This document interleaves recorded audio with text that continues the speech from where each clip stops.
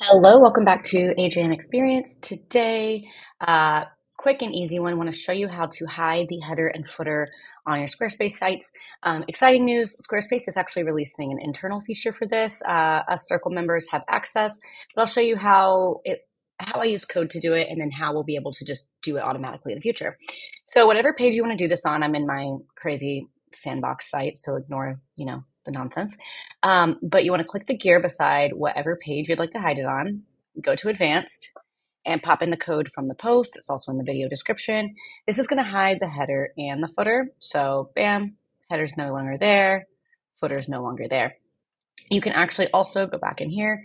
You can easily just remove this header portion if you only want to hide the footer. You could also remove just the footer portion and the comma if you wanted to just hide uh, the header. Easy. Um, in the future, exciting, they added this new navigation tab in here where you can actually toggle the header and footer on and off. Super simple and easy. Um, not sure when they're releasing that feature for everyone, but it should be soon.